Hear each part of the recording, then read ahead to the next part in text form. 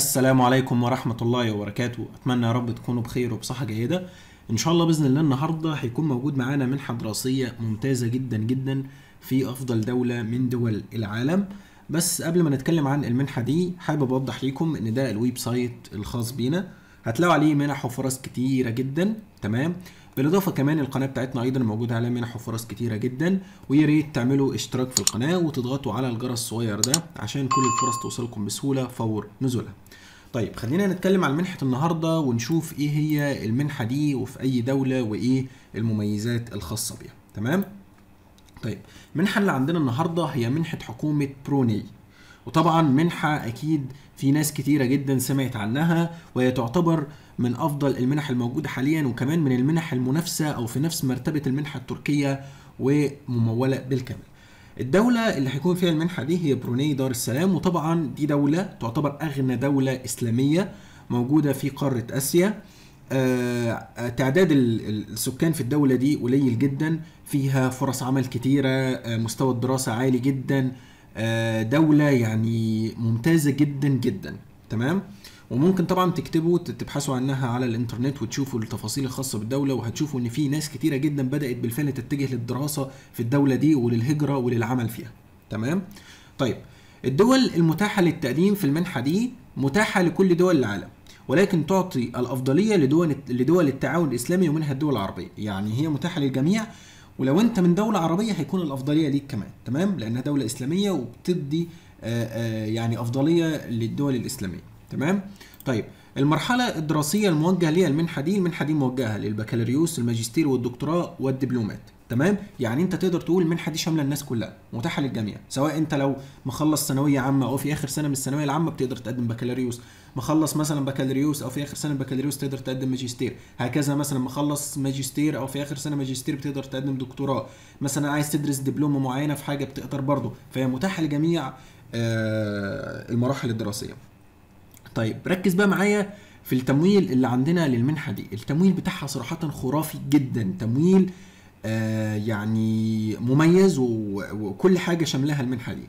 المنحة دي ممولة بالكامل هتاخد فيها مصاريف الدراسة بالمجان. كل رسوم الدراسة هتكون على حساب المنحة انت مش هتدفع أي تكاليف خالص. تمام؟ المنحة دي هتوفر لك تذاكر الطيران ذهاب وعودة. لما تيجي طالع من بلدك تروح بروني ولما تخلص مثلا دراسة وتيجي راجع تذكرة الطيران برضو هتكون على حسابهم. كمان هيكون في بدل شهري للمصاريف الشخصية حوالي 500 دولار بروني تمام؟ انت هتاخد 500 دولار بروني شهريا تمام؟ دي عشان تكفي لك احتياجاتك الشخصية. احتجت حاجة معينة محتاج تجيبها أو كده آه، بتقدر انك تستخدم الراتب ده. كمان بالإضافة الراتب ده يعني هيكون خارج بدل الشهري للطعام. يعني انت الطعام هيكون ليه فلوس إضافية هتاخدها كمان. في 150 دولار بروني عشان تغطي لك تكاليف الطعام. كمان هيوفروا لك الإقامة المجانية داخل المدينة الجامعية. في سكن جامعي ممتاز جدا هتكون مقيم فيه. هيبقى ليك بالمجان. يعني انت بتاخد راتب شهري سكن وجبات طعام متوفرة تذاكر طيران مصاريف الدراسة مجانا. ده لحد دلوقتي. خلينا نكمل باقي المميزات. عندك كمان بدل سنوي للكتب 600 دولار بروني هتاخد سنويا مصاريف الكتب بتعادل 600 دولار عشان تقدر تشتري بيها الكتب. تمام؟ كمان في حاجة اسمها بدل لشحن حقائب الطالب بعد الانتهاء من فترة الدراسة هيدولك زي مكافأة كده لما تيجي راجع بقى لبلدك في مكافأة. آه، طبعا آه، ال- الطلاب من إحدى دول رابطة جنوب آسيا الطلاب اللي هيكونوا من آسيا هياخدوا 250 دولار بروني والطلاب اللي من خارج آسيا هو مثلا على سبيل المثال آه، في دول عربية زي مصر وكده والجزائر والمغرب من خارج مثلا آسيا هياخدوا 500 دولار بروني. تمام؟ دي كمكافأة ليك لما تيجي راجع لبلدك. كمان هتوفر لك تأمين صحي طول فترة الدراسة في حالة لا قدر الله حدوث مرض أو حادث ليك هتكون كل تكاليف العلاج على حساب المنحه طيب خلينا دلوقتي نشوف الجامعات والتخصصات المتاحة. زي ما إحنا قلنا هي منحة حكومية تمام؟ منحة حكومة بروني. طالما قلنا منحة حكومية يعني مشارك فيها جامعات. مش هتكون جامعة واحدة بس اللي مقدمة المنحة أو هيكون فيها الدراسة وإنما مجموعة جامعات. عندنا أربع جامعات تمام؟ مشاركة في المنحة دي اللي هو university بروني دار السلام university إسلام سلطان شريف علي تمام؟ و university technology بروني و polytechnic بروني تمام؟ عندك أربع جامعات. الأربع جامعات دول فيهم كل التخصصات. أي تخصص بيجي في دماغك وأنت عايز تدرسه بتلاقيه موجود في أي جامعة من الأربع جامعات دول تمام؟ ولو أنت طبعا عايز تعرف تفاصيل كل جامعة والتخصصات اللي موجودة فيها بتضغط مثلا أنا عايز أقدم ل university مثلا بروني دار السلام. هضغط على كلمة هنا عشان أخش وأشوف مثلا إيه التخصصات اللي بتقدمها university بروني دار السلام ويعني إيه الأشياء اللي موجودة فيها والكلام ده كله. هتلاقي مثلا هنا تفاصيل التخصصات الموجودة في بروني دار السلام. كل جامعة هتلاقي فيها التفاصيل والتخصصات. تمام كده؟ فالطب موجود صيدلة موجودة هندسة كل التخصصات. طيب آه لغة الدراسة. معظم التخصصات هيتم تدريسها باللغة الإنجليزية وهناك تخصصات قليلة باللغة العربية مثل الفقه والشريعة وتخصصات الدين. الناس اللي هتدرس الفقه والشريعة والتخصصات الدينية هيتم تدريسها باللغة العربية تمام؟ يعني مش هيتم الدراسة باللغة الإنجليزية. لكن آه الناس آه اللي طبعا هتدرس تخصصات زي هندسة الحاجات دي كلها طبعا لازم تكون بتعرف إنجليزي. هم مش طالبين شهادة لغة. المنحه دي مش مطلوب فيها شهادة لغة. ولكن بس تكون بتعرف لغة إنجليزية عشان تقدر تدرس هناك. تمام؟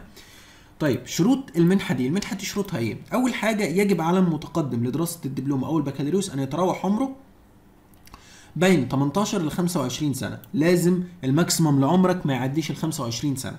لو أنت تدرس بكالوريوس أو دبلوم. لو هتدرس ماجستير أو دكتوراه عمرك ما يعديش ال 35 سنة. تمام؟ ده شرط العمر. كمان ما تكونش انت حصلت على منحة أخرى في نفس الوقت يعني ما تكونش انت مقبول مثلا في منحة تانية وعايز يعني تحصل على المنحة دي برضو لا لو انت اتقبلت في منحة خلاص إما بتكنسل منحة بروني لو جالك قبول فيها أو بتكنسل المنحة الثانية تمام؟ آه طبعا ما يفضلش إنك تجيب العائلة معاك يعني المنحة دي ما بتشملش العائلة. تمام؟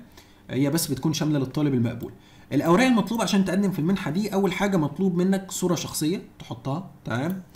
آخر شهادة حصلت عليها اللي هي شهادة التخرج مثلا بتاعتك سواء أنت خلصت ثانوية عامة أو بكالوريوس أو لو أنت في آخر سنة بتقدر تقدم بشهادة السنة اللي قبلها. تمام؟ وتكون مترجمة. كمان تجيب نسخة مصدقة من شهادة الميلاد أو الباسبور بتحط صورة شهادة الميلاد بتاعتك والباسبور. تمام؟ كمان مطلوب حاجة اسمها فيش جنائي. يثبت أن المتقدم للمنحة لا يحمل أي تهمة مدنية أو جنائية. يعني إيه؟ يعني في حاجة اسمها ورقة الفيش الجنائي. بتتجاب من أي مؤسسة حكومية اللي هي مثلا زي ما بيسموها في مصر مديرية الأمن مثلا أو من أي قسم شرطة بتجيب الفيش الجنائي ده. الفيش الجنائي ده بيكون مكتوب فيه إنك شخص مثلا مستقيم ما بتعملش أي جرائم في بلدك شخص كويس. فهم عايزين كده إن الشخص اللي يكون متقدم يكون شخص كويس. عايزين شهادة تثبت كده تمام؟ طيب. آه طبعا بقى لو عندك أي شهادات أخرى زي دبلومات آه كورسات الحاجات دي بتضيفها برضو تمام؟ آه الحاجات بقى كمان المطلوبة في مقالات على خطاب النية في مقالات نية مطلوبة يعني كذا مقالة لازم برضو تكتبهم بشكل كويس. تمام؟ كده دي الأوراق المطلوبة. طيب كيفية التقديم؟ أول حاجة أنت عشان تقدم لازم تظبط كل ورقك دول. بالإضافة هيكون في استمارة تقديم هنشوفها بعد شوية. الاستمارة دي لازم تملاها وتختمها في الآخر من وزارة الخارجية أو من السفارة الخاصة ببروني الموجودة في بلدك. تمام؟ وترسل الاستمارة دي مع الأوراق دي على هذا الإيميل. تمام؟ كده واضح؟ يبقى انت بتقدم من خلال ارسال الاوراق ده الاوراق دي كلها مع الاستمارة اللي إحنا هنشوفها بعد شوية على هذا الإيميل. طيب آخر ميعاد للتقديم للمنحة دي هو 15 فبراير 2021 تمام كده ده آخر ميعاد يعني قدامك ممكن نقول حوالي شهر عشان تقدر تخلص ورقك وتقدم في المنحة. هنا عندنا ملاحظة إن طبعا قناتنا قناة منح من كل الألوان بتوفر خدمات إضافية زي خدمة التقديم بشكل احترافي لأي فرصة ومنحة أنت عايزها، يعني لو عايز تقدم من خلالنا على المنحة دي متاح. في الخدمة التانية تجهيز الأوراق بشكل احترافي بنجهز لك الورق بشكل عام عشان تستخدمها في التقديم لأي منحة أنت عايزها بنفسك. وتالت خدمة التقديم على الكورسات الأونلاين عشان تزود من فرص قبولك في المنح والفرص. ولو عايز أي خدمة من هذه الخدمات هتلاقي رابط استمارات الخدمات موجودة في صندوق الوصف أسفل الفيديو ده أو هتلاقيها موجود أسفل المقالة دي هتلاقي هنا اللي هو روابط الاستمارات للتقديم من خلالنا وكمان هتلاقي آراء الناس اللي قدمت من خلالنا سابقا. تمام؟ طيب. دلوقتي بقى خلينا نشوف الإعلان الرسمي للمنحة اللي فيه التفاصيل دي كلها. تيجي تضغط على الإعلان الرسمي عشان يفتح معاك. تمام؟ هنا أنا هوريكم الإعلان الرسمي اللي موجود فيه كل التفاصيل اللي أنا قلتها. ده آه الموقع الرسمي لوزارة آه الخارجية خاص ببروني. تمام؟ هتلاقي تفاصيل المنحة هنا كاتبين لك التفاصيل الجامعات المشاركة في المنحة تمام؟ الدراسة هتبدأ في أغسطس 2021 زي ما هم محددين هنا أغسطس 2021 آه هتلاقي كمان هنا بقى التفاصيل الخاصة بالجامعات لو أنت عايز تشوف كل جامعة هتلاقي الشروط هتلاقي المميزات ال- ال- الحاجات اللي بتوفرها تذاكر الطيران ما إلى ذلك كل ده هتلاقيه موجود. هتلاقي إزاي تقدم هتلاقي ال application form كل التفاصيل هتلاقيها. تمام كده؟ طيب دلوقتي لو أنا عايز أقدم للمنحة أعمل إيه؟ هتيجي تضغط على كلمة قدم الآن دي عشان يفتح معاك ال application form الخاص بالمنحة تمام؟ هينزل معايا في صورة ملف وورد بالشكل ده. طيب هتضغط عليه وتفتح الملف الملف هيفتح معاك بالشكل ده. دي الاستمارة بقى اللي أنت لازم تملاها وتجمعها مع الأوراق المطلوبة التانية وترسلهم على الإيميل تمام كده؟ أول حاجة أنت بتحط الصورة الشخصية بتاعتك في الحتة دي تمام؟ بتحط هنا صورتك الشخصية. بعد كده ليك اختيارين تختار ال ال الجامعة اللي انت عايز تقدم ليها وتختار التخصص. تمام؟ هنا بتختار الجامعة. أنا مثلا عايز أقدم لجامعة university بروني دار السلام مثلا أختار الاختيار الأول. أحط عليها علامة صح مثلا. تمام؟ وأختار التخصص. ليا الحق أختار تخصص تاني وأختار الجامعة كمان. تمام؟ الكود بتاع البرنامج ده ممكن تسيبه فاضي أو ممكن تكتبه. ده كود التخصص. وبتلاقيه موجود في الملف الخاص بكل جامعة. زي ما أنا كنت وريتكم قلت لكم كل جامعة تلاقوا فيها التخصصات فبتخش على تخصصات كل جامعة وبتلاقي في حاجة اسمها كود قدام التخصص بتاخده بتحطه هنا. تمام؟ دي الأوراق المطلوبة. بيقول لك إيه هي الأوراق اللي أنت هتجهزها؟ ودي شرحناها خلاص. أول حاجة بقى هنا بيطلب منك ال personal information معلوماتك الشخصية اسمك اسم العائلة رقم جواز السفر تاريخ ميلادك آه، الدولة الجندر بتاعك كل التفاصيل بتحطها رقم تليفونك كل هذا بتحطه. تمام؟ هنا بيقول لك تفاصيل الخلفيه ال- التعليمية بتاعتك. مطلوب منك هنا تحط كل ال- ال- المدارس اللي أنت درستها من فوق سن ال 15 سنة. إيه هي المؤسسات اللي أنت التحقت بيها؟ من بعد سن ال 15 سنة. تمام؟ بتحطها هنا. هنا بتحط بقى إذا كنت انضميت لجامعة اسم الجامعة اللي أنت انضميت ليها والمدرسة اللي أنت فيها حاليا أو اللي أنت اتخرجت منها سواء أنت على حسب المرحلة اللي أنت هتقدم ليها. تمام؟ دي لو أنت مستوى يعني أعلى في اللي هي ال international والحاجات دي فدي برضو خانة ليهم. تمام؟ لو في أي other qualifications لو في أي مثلا حاجات دبلومة أنت خدتها آه، شهادة معينة خدتها تبع الدولة كل ده بتحطه هنا تمام؟ أو مثلا في برنامج حالي أنت بتدرسه ولكن لسه ما كملتوش تمام؟ أو ناوي تبدأ مثلا برنامج فيما بعد بتحط اسم البرنامج ده هنا. هنا بتحط اللغات اللي أنت آه، بتعرفها اللغة الإنجليزية مستواك فيها في القراءة والكتابة والتحدث إيه؟ لو بتعرف اللغة العربية مثلا بتكتب فيها إنك مستواك آه، هنا بيقول لك تقييم المستويات. اللي هو number 1 good يعني انت مستواك كويس فيها average متوسط 3 poor اللي هو ضعيف. تمام؟ تحط مثلا بعرف اللغة العربية كمان اللغة الفرنسية على حسب يعني شوف انت بتعرف لغات إيه. هنا بقى المقالات اللي عندنا. هنا المقالات بقى بيقول لك مثلا وضح لنا آه، ال- الحاجات الأكاديمية اللي انت خدتها مثلا هل استلمت جوائز أو كده؟ على حسب لو انت كان عندك جوائز أو حاجات استلمتها بتحطها في الجزئية دي لو ما عندكش خلاص بتسيب الجزئية دي فاضية. هنا آه، آه، عايز يعرف منك طموحاتك المستقبلية في المستقبل ال- ال- الكارير بتاعك هيكون إيه؟ أنت تطمح إن أنت تشتغل إيه في المستقبل تمام؟ تحط برضو بتكتب المقالة دي بشكل كويس كده عشان برضو من الأشياء المهمة. هنا دي زي motivation letter كده أو زي research هنقدر نقول عليها research proposal ليه أنت عايز آه، آه، آه، تعمل دراسة في المجال ده؟ على سبيل المثال أنا هقدم مثلا على هندسة مدني فلازم تكتب ليه أنت عايز تقدم للهندسة المدني تحديدا؟ وليه اخترت دولة برونيه؟ تمام؟ برضو تكتبها في المقالة دي. فدي ممكن نقول عليها زي motivation letter كده. آه، في الحتة دي بقى ال work experience بتاعنا الخبرة العملية. لو انت شخص اشتغلت في أعمال معينة طول فترة حياتك بتقدر تضيف انت اشتغلت فين بدأت من إمتى لإمتى الشغل ده كان بدوام كامل ولا دوام جزئي تمام؟ لو ما عندكش أي خبرة عملية بتسيب الجزء ده فاضي. لو طبعا في جوائز أخرى خدتها شهادات تقديرية كورسات بتحطها في الجزء ده تمام كده؟ طيب لو انت مثلا حصلت على منحة سابقا برضو بتحطها في الجزء ده لو أي scholarship انت حصلت عليه لو انت خدت منحة قبل كده مثلا واحد أخد منحة عشان يدرس بكالوريوس وعايز يقدم للبرونيه عشان يدرس ماجستير فأنت وضح سابقا أنت خدت منحة في بكالوريوس تمام؟ طيب هنا بقى الخطابات التوصية. لازم تحط بيانات اتنين للتوصية تمام؟ تحط اسم كل واحد المكان اللي بيشتغل فيه رقم تليفونه والإيميل بتاعه تمام كده؟ طيب وهنا بتكتب تاريخ اليوم و ب- بت- بتحط السيجنتشر بتاعتك الإمضاء بتاعتك.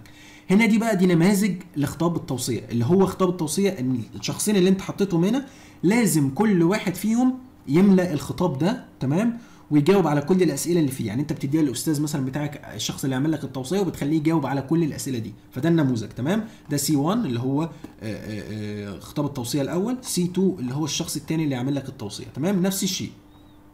طيب دي بقى نيجي لل- لل form الأخير ده. ال form ده بقى لازم يتملى بواسطة الجهة المسؤولة في بلدك اللي هو يا إما وزارة الخارجية الموجودة في بلدك أو سفارة بروني الموجودة داخل بلدك. تمام كده؟ فأنت بتروح للسفارة مثلا بتروح لوزارة الخارجية بتقول لهم أنا مقدم على منحة في بروناي وعايزكم تملوا لي الجزء ده. هم بياخدوا منك الملف ده بياخدوا منك الصفحة الأولى اللي هي دي والصفحة الثانية اللي هي دي وبيبدأوا إن هم يملوه وبعدين يرجعوا لك ال form مليان ومختوم. ولازم يعني الأفضل كمان يكون عليه ختم. تمام كده؟ فأنت بقى بحضرتك بتملى ال form ده بنفسك اللي من فوق كل الأشياء اللي فوق دي بتملاها وبتاخد التوصيات من الأشخاص اللي عملوها لك وبتم وبترفقها مع الملف وبتاخد أيضا ال form ده برضو إن الجهة المسؤولة عملته لك وبتجمع الملف ده كله تمام؟ اللي هو اللي عندنا 14 صفحة بتجمعه وبتروح واخد كل الأوراق اللي إحنا شرحناها هنا شفت الأوراق دي كلها اللي إحنا قلناها هنا وبتجمعهم في ملف PDF وبتروح جاي باعتهم على الإيميل ده. ويبقى أنت كده قدمت المنحة بنجاح. تمام كده واضح؟ فكده أنا شرحت لكم إزاي تقدم للمنحة شرحت لكم المميزات كل التفاصيل. ما تنسوش كمان ان إحنا بنوفر خدمة التقديم للمنح وما تنسوش اخر ميعاد 15 فبراير 2021 وان شاء الله بإذن الله يكون بالتوفيق والقبول ليكم في هذه المنحة والسلام عليكم ورحمة الله وبركاته.